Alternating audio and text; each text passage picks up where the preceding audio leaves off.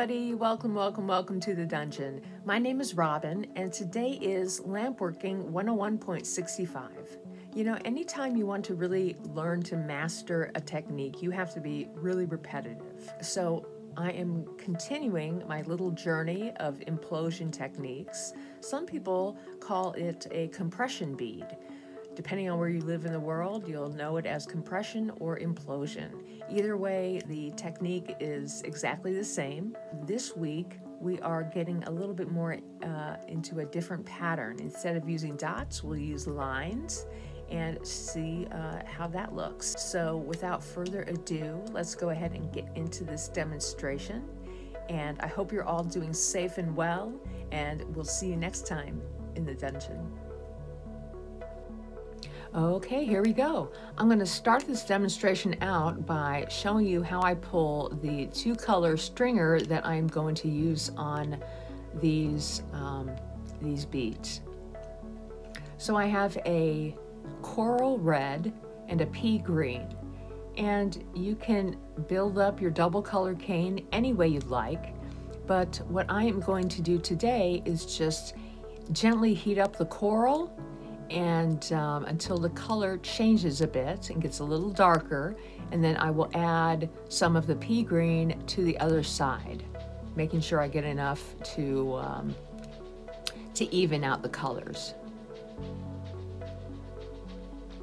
I'm just going to punty up with a small thin mandrel on one end and I want to make sure that that mandrel is right in between the two colors.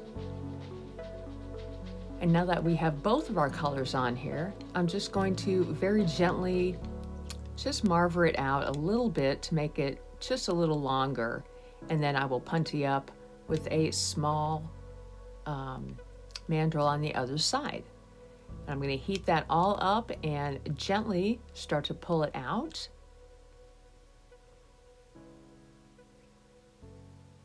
And we'll make this nice, make it as long as we can. And I want to make plenty of these because you don't want to run out of stringer when you're right in the middle of your bead or making your pattern. So you see I have a whole bunch of different double color stringers here uh, in various colors to play with today. I also have two sizes of clear. I'm going to use the thinner clear for the base and the thicker clear for the rest of um, my discs when I build them up. Okay, let's go ahead and start. I have my thinner rod of clear and I'm just going to heat it up until I have enough to wrap on my mandrel so I have just a really simple little base bead. And on top of that, because I want the color in the bead to go all the way up to the top, I'm going to add some dots on this very first little bead here. So I have like six dots and I hope you notice that they are slightly on the left side of my bead. They're not in the center, they're on the side. And then I'm going to just start to add my clear on top of that. And I, I know where to add the color dots because basically I want the color dots to be on the side where things are going to be compressed. And because I know that, I will be turning the mandrel around as soon as I'm done making the disc and that back side will be where I add the pattern. But before I do that, I want to just gently press down this first disc to even things up. And then I will continue to build out the disc and I'm gonna try to make this disc as big as I possibly can this time.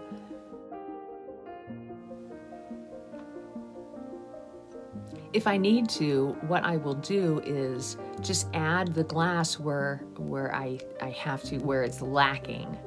Um, I can only get so um, big around. So I'm going to just add my clear where I need to. And there is our disc. I might add a little bit more here it just kind of depends on how, yeah, I just want the disc to be a little bit more even. So I'll add the glass just where I need it to be. Okay, that looks pretty good to me. So here's our final disc and I will start to heat this up very gently and just kind of flatten it out. Not really flatten it out, but round it out. Use, uh, even it out. That's the word I'm looking for. And you see all of the, um, those little bumps from each one of the discs. That uh, actually comes in pretty handy for this technique. So I'm going to start adding um, the stringer from the very center to the outside. And I'll just continue this pattern until the disc is completely full of these lines.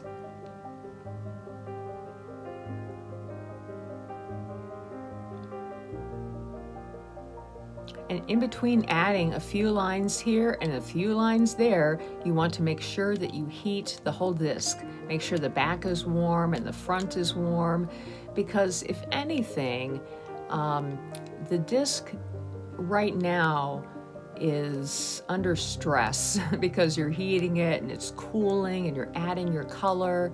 So um, if the disc is going to break, this um, is when it's going to happen, is when you're working on your pattern. So I like to add a few lines, a little bit more of my pattern, and then gently heat the disc up to ensure that it doesn't break on me uh, in the process here.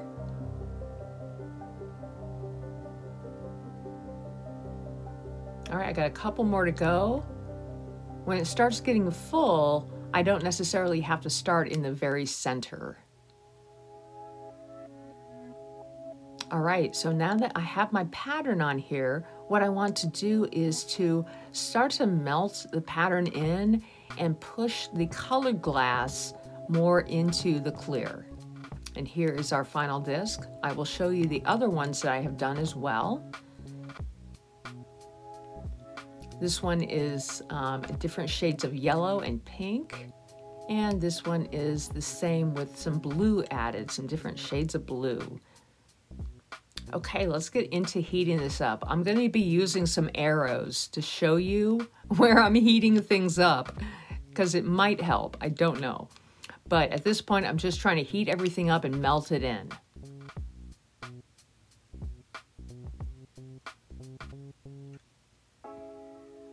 Okay, now that I have been pushing in that color and trying to melt it down, I'm going to start my compression. And you will notice that when I start this, my torch is basically going to be on the very edge of the bead, trying to get um, the, just the edge to start to pull in a little bit. And then I also have um, some heat going into the center as well and it will start to form that little cup.